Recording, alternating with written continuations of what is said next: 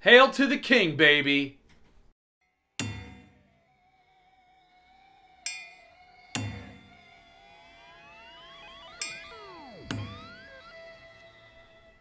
You like King. I like King. Everybody likes King. But you want to read more than King. But you've been disappointed by other authors. They just don't seem to carry the same magic. And even though you want to expand, you've been hurt before. You've read these other people, and you're like, it's just not the same. There's just some intangible quality that's lacking in what they're giving me than what I what I get from Stephen King. So you run back to Stephen King because he's got like 80 books, puts one or two out a year, and and you just get back into your comfort zone and you go wrap yourself in your little cocoon, and you don't want to know any more about any other authors. But don't worry, Beef Daddy is here to get you out of your cocoon so you could be a reading butterfly and make your way in the world happy with with with an expanded library maybe. So what I have for you today are five authors that in some way have that storytelling magic. They have some of those intangible qualities. You just can't put your finger on it, but you know when you open that book, it's going to be a winner.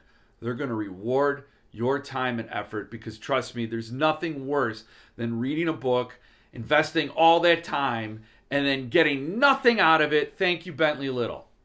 So, um, I'm going to share with you these five authors. I'm going to share two books from each author that I think compare very favorably to a certain Stephen King book. So, if you like this Stephen King book, you will like this book from this author. This should be a lot of fun, a nice easy way for you to expand your reading readership, your reading readership, uh, risk free. And, you, and I'll give you my money back guarantee. If you don't like these authors, I will refund you all the money you spent on this tutorial. But before we get started, I'm going to check in with the Magic Duff Bucket because I think I'm going to be here a while talking about books and I need to be properly fueled. So let's see what we got. What do you have for me today, Magic Duff Bucket? You always know. You always know, Magic Duff Bucket, Rapture Brewing, Sugarfoot Stout. I happen to know that Mitch over at Rapture has a new batch of this coming um, that I'm eager to sample.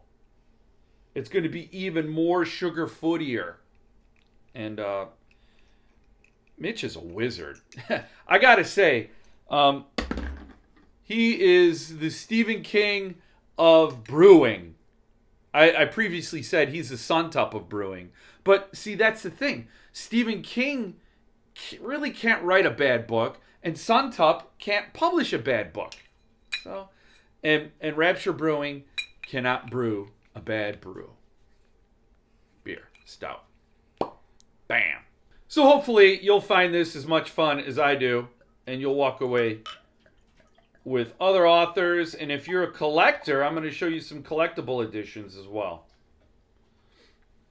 So cheers. That was a pretty good pour. That's right. I'm grading myself live or pre recorded, as it were. And it were. So, first up is Robert McCammon, and he has the same style as Stephen King. And in fact, when I first read Robert McCammon, I thought this is a pseudonym for Stephen King. There's no way there's an author who writes so so similarly to Stephen King, uh, both in again style, content, and and the same chills, same horror horror horrifying effect of of the storytelling. And um, uh, I, I guess it is not. To date, uh, I, I believe Robert McCammon is an individual human being going about the world and eating at different restaurants and living a completely separate life uh, from Stephen King. Um, but I've never seen them both in the, in the same room together. And I, have never been present when Robert McCammon has written a book. Um, so I cannot verify that. And if I can put a conspiracy theory out there, then I'm I'm all for that because why not add one more to the internet? It, it ain't gonna break the internet, trust me.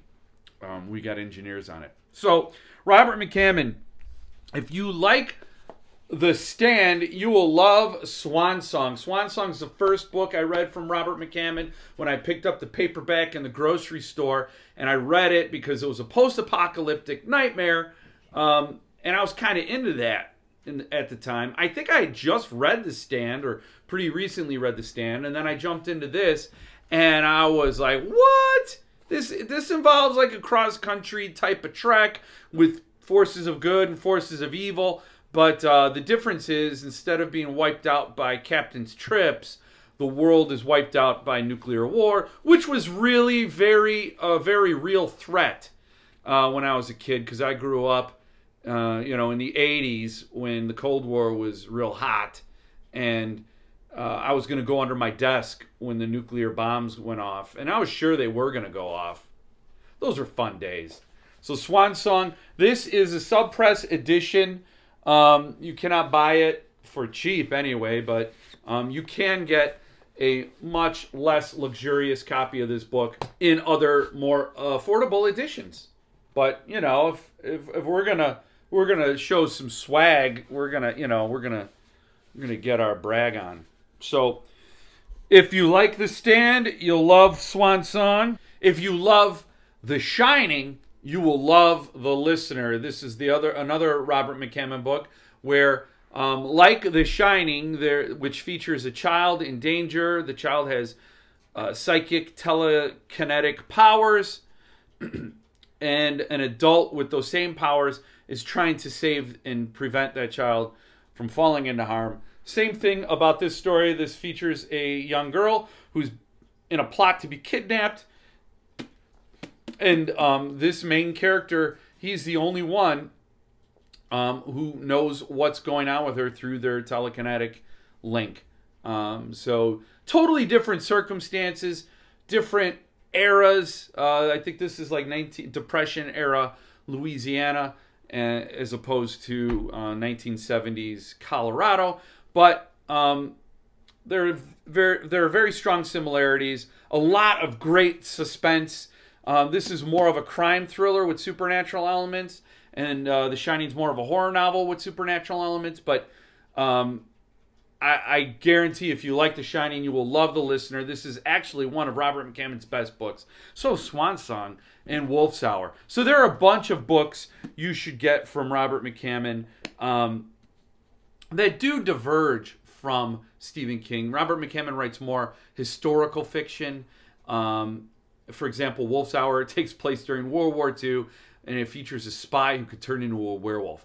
That balls out crazy abstract should be enough to get you to go there. But it is further afield from Stephen King, and I think if you stick with The Listener and Swan Song as a starting place, as a Stephen King fan, you should really find your way into the rest of Robert McCammon's catalog.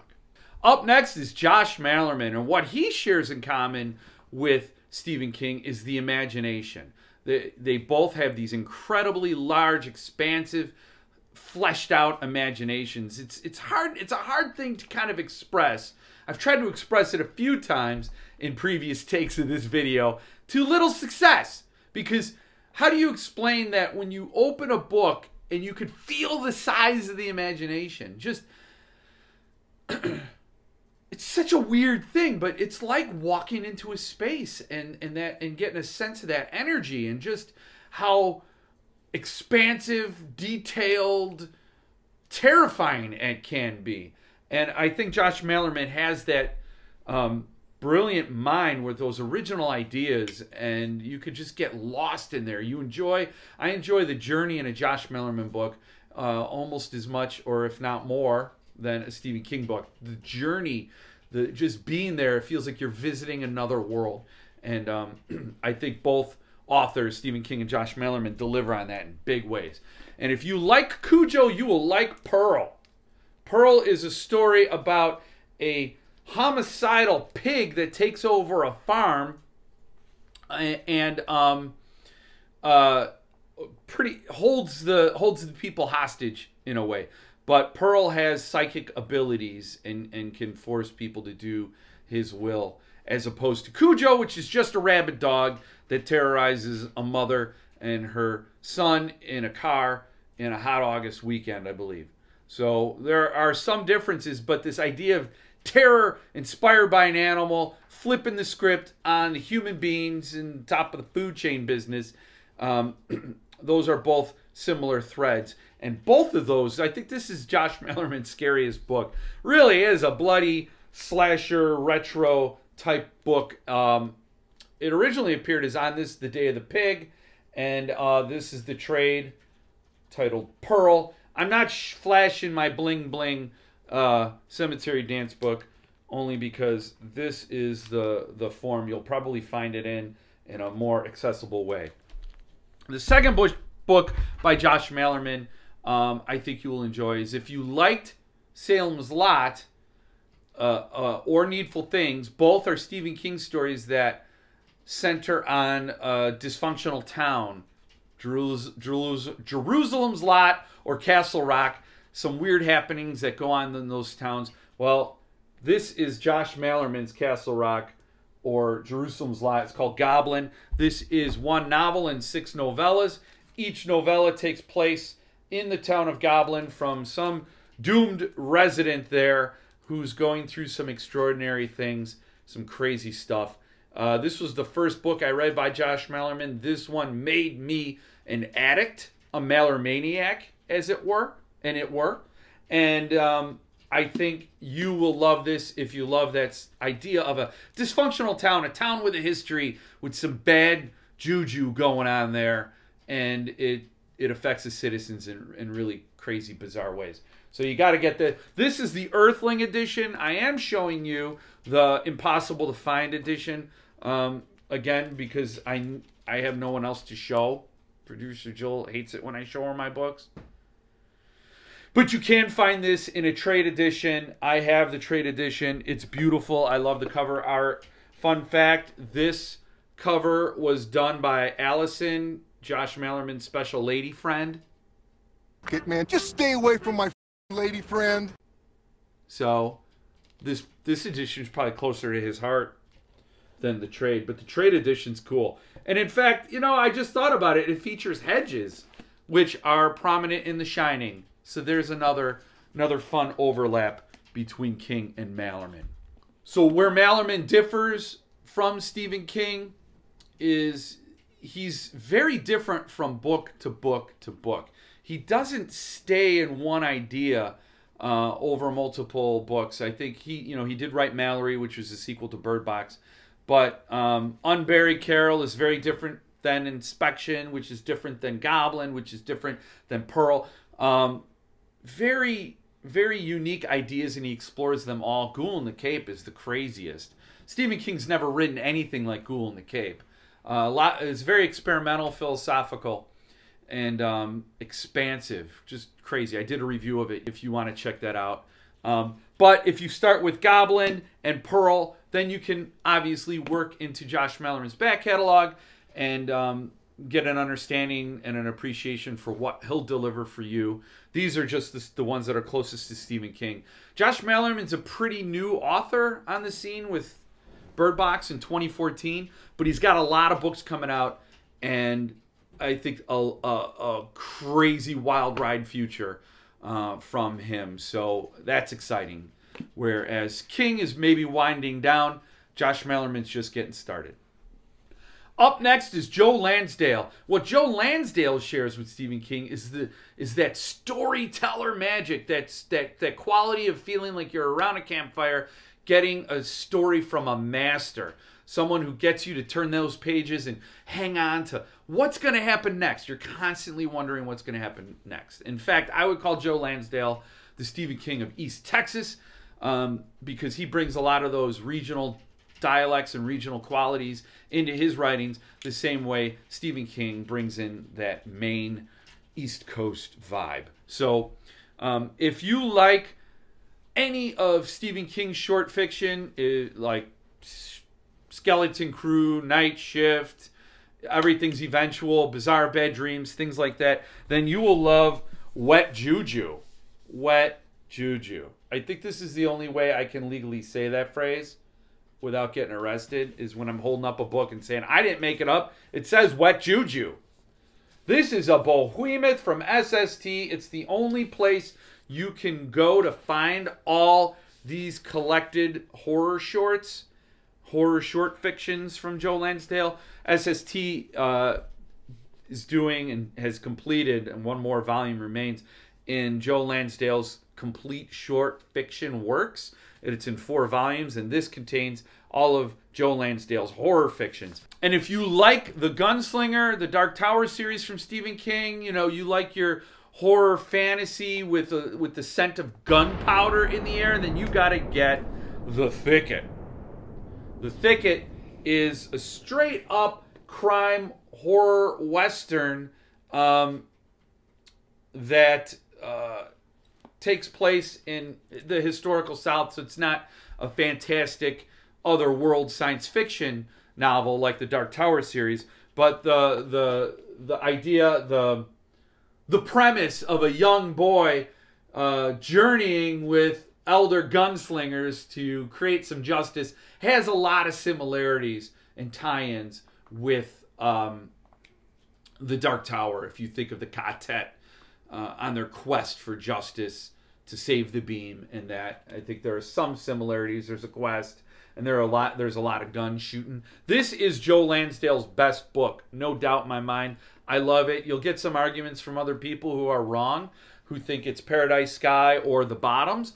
Both of those books are in Joe Lansdale's top 10, top 5, maybe even top 3, but The Thicket stands head and shoulders above all. Where Joe Lansdale differs from Stephen King is that he writes more uh, Western fiction, uh, real Western, like Paradise Sky is a, a Western uh, about Nat Love. Brilliant book. That is a fantastic book, too. and Joe Lansdale is a lot more humor. He's, he's a lot funnier. I, I would never think of Stephen King as funny but Joe Lansdale certainly, if you if you read the complete drive-in, he's hilarious, uh, and I, I, love that. Um, it's just a touch of humor. Um, Joe Lansdale tugs on the heartstrings as well. Uh, Joe Lansdale, like I said, is a great American storyteller. So um, you, he's the whole package. But um, he does go a little bit further afield. But if you start with Wet Juju or The Thicket, then I think you can get into some of Joe Lansdale's back catalog, which is extensive. He's been writing since like 1980, um, almost as long as King. Up next on my list is Philip Fracassi, where Philip Fracassi shares qualities with King is in the idea of putting ordinary people in extraordinary situations. I think that's one thing uh, everybody loves about King is that the characters are so relatable. They feel like people you talk to over your over your backyard fence, people you go grocery shopping with, you know, just the, the, the people in your neighborhood, in your neighborhood. And Philip Fracassi has those qualities as well. He he makes you care about the characters and then he then he drops them into the frying pan. And then he takes them into the fire. And then he puts them in the deep fryer. And then you eat everything in the breading. And you say, Yes, chef. Philip. I would like more of this deep fried people you serve. Maybe you don't go that far, but I do. I'm Beef Daddy and I do what I want. So, if you like The Shining and Children of the Corn, you will like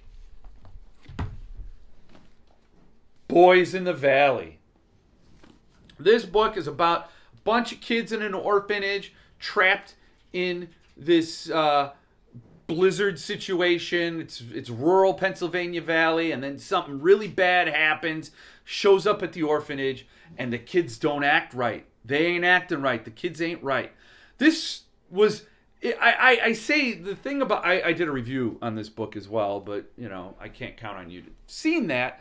Um, so I'll just tell you very quickly what I loved about this book was it was a slow burn but a fast page turner. I cared about what happened next and I was always dying to get back to the story.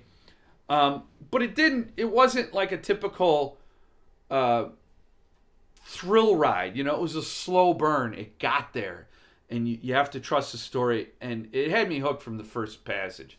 So um, I loved it. Unfortunately, this book is sold out at the publisher. Um, there's a funny story where Stephen King said he wants to get this book but it is sold out. So some of, someone close to Stephen King actually had to send him a copy from Earthling Publications. Uh, don't hit up Earthling Publications for this book. You're not going to be able to find it. But I have a feeling it'll come out in a trade edition in short order because this book does deserve to get into to get to slam into more people's eyeballs. You rub your eyes all over those pages side to side. And this book deserves that attention. It is fantastic. So if you loved It by Stephen King, and who hasn't loved that book? It's my top. It's in my top two. I love that book. Was it my top one? I don't remember where I ranked it. Those things change anyway. We just got to give videos titles and then put them out. So it's it's kind of arbitrary. But if you liked it, you will love Commodore. Obviously, the difference between it and Commodore is sort of apparent right there. Um, it is a behemoth. This is a slender volume of awesomeness, but um, the idea is similar. it's it's boys dealing with uh, something amiss in in the in their hometown. So it takes place in Derry. Commodore takes place in Sabbath, and um, and it's up to the kids to uh, kind of figure out what's going on, and it's it's really intriguing. I think Philip Fracassi, I interviewed him. I talked to him about Sabbath. He said there's more fiction to come in the town of Sabbath. I asked him for a full length novel. I think that would be awesome because this just whetted my appetite. I, I wanted more from this town. And uh, apparently there are other short works that take place in that town. I just haven't read them yet. Um, where Philip Fracassi differs from Stephen King um, is that he takes on uh, he'll he'll take the story in, an, in, a, in a direction I don't think Stephen King would have gone. Uh, where he took Commodore, for example, I, I, I wouldn't see I couldn't see Stephen King making those same executive decisions. Not that either made a better decision than the other. It's just um, they trusted their imaginations to take them along two distinctly different dark paths. Um, I have to read more Philip Fracassi so I can have a better idea of what he has to offer. But the quality of the storytelling is clear, compelling, active voice, ordinary people in extraordinary situations, and um, an- another author that I am. I love to open that first page because I am guaranteed a return on the investment of my precious time. Maybe you have time to waste, but Beef Daddy don't.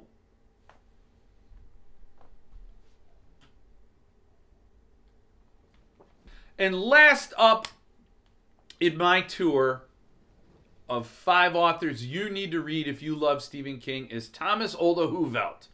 The qualities Thomas Olde Heuvelt shares with Stephen King are all of them. I'm not I'm not kidding. Thomas Olde Heuvelt has all the same qualities as Stephen King. The page turning, the storytelling, the chills, the fears, the creeps, the uh, ordinary people in extraordinary situations. I would easily say that he is a rightful heir to the throne of Stephen King. I've also said this about Josh Malerman, and I stand by that. I think there should be a very big throne. There are a lot of great authors out there. In fact, it should be a bench. Let's just say it's a bench, and we got these five authors on that bench. Um, because to say there's one error is just ridiculous. There's so much talent out there. But Thomas Olde Heuvelt has so many things that are it's when I read for example, let's get into it. When I read Hex, I felt like I was 15 again reading classic Stephen King. If you liked Pet Sematary, you will love Hex. This book has a lot of the same chills and creeps. I mean, this is this is a really creepy story. It's got a lot. It's got some humor in it too. It's the first part of it seems kind of crazy and creepy and and and then and then the last half the last quarter sort of takes a much darker turn but um a lot of a lot of what you I loved about Pet Sematary is contained here but this is brilliantly original. This isn't just a carbon copy or fan fiction of Stephen King. This is the real deal. This is grand master storytelling horror. Um, and this book came on the scene. Um, Thomas Olde Heuvelt writes in his native tongue, which is Dutch. Uh, even though he is fluent in English, he's probably a better English speaker than I am, as these videos attest.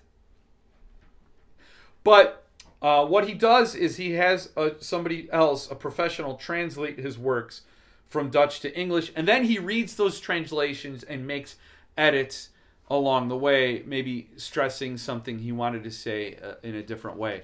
Um, but in 2013, he wrote Hex. I think in 2015 or 16, it was translated to English, and Stephen King tweeted about it, and then the book went viral. Boom, exploded all over the place, and that was kind of crippling fame for Thomas, who then took a break from writing for a long time. Well, not for a long time, but for a while.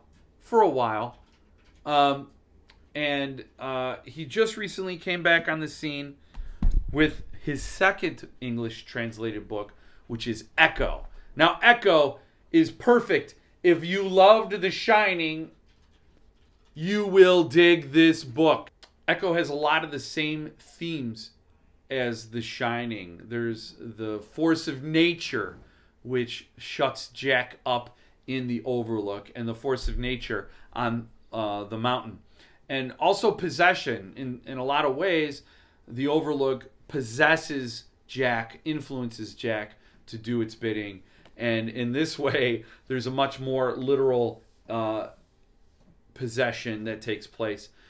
I will say just like I said with Hex, this is not a retread carbon copy fan fiction, um, but this is brilliantly new. In fact, both Hex and Echo, I feel, are reinventing horror. They are taking some things that we thought were tried and true and blowing them up and making them reimagined in a way, uh, completely original. And it's not easy when somebody can invent a monster. And while there's no creature in here, there is definitely a reinvention going on. One thing about Thomas Olde Heuvelt is he's a young author, just like Malerman and Philip Fracassi, with a lot of books coming ahead. Um, I think he's just getting started, and that is exciting to me. His next English translated book will be coming out in 2023. It'll be called Oracle, and it. I read the synopsis. It sounds amazing. I, I think there's going to be a lot to be excited about coming forth with with this author. Where Thomas Olde Heuvelt differs from Stephen King is he relies a lot more on lore and um, some of that generational horror that gets handed down um, from you know the oral tradition to the written word uh, along the way through history, through cultures, and through communities. So both those, both Echo and Hex, rely on and and some of that lore coming through and in some ways either getting dismantled or proven founded on old evils. So Joe Lansdale, Robert McCammon, Thomas Olde Heuvelt, Philip Fracassi, Josh Malerman, all these authors are waiting for you. Some are brand new almost. Some have established back catalogs. But there's a lot of great reading if you like Stephen King. So hopefully this introduces you with some handshake and a stout to some great authors that you could check out yourself from the library, from these small press publishers, from your local indie bookstore, wherever you get your fiction addiction administered to. I'm only here to help push these books, man. I'm your pusher. the Jeff Word pusher. Anyway, um, that's it for now. Take it easy and stay frosty. Um, I'm gonna I'm gonna get back to that part later, Jeff. So just edit this part out. I'm waving to you, future Jeff. Just do it, you bastard. You hairy, itchy bastard.